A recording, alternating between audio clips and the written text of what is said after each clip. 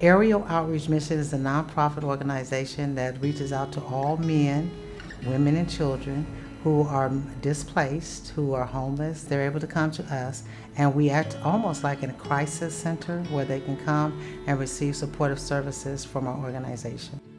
We serve those that are unemployed, disabled, single moms, those going through domestic violence.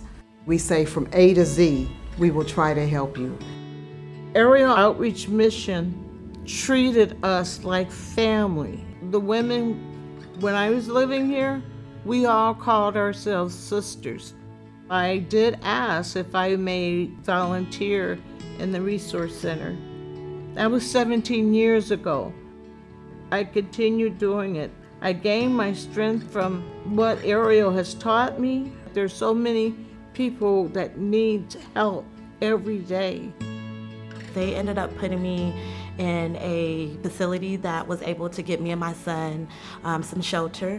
And then I was there for about a month, and then they got me into a transitional place. You never know what blessing you might be blocking and unlocking at the same time. By actually taking that leap of faith with him, I unlocked some blessings that are that are pouring into my life now for me and my son. We want to be givers, not takers, but givers. Help anybody that we could in the community so that they could be self-sufficient, independent, financially empowered. If everybody reach one, we can make a difference. If everybody reach one, we can make a difference. If everybody reach one, we can make a change.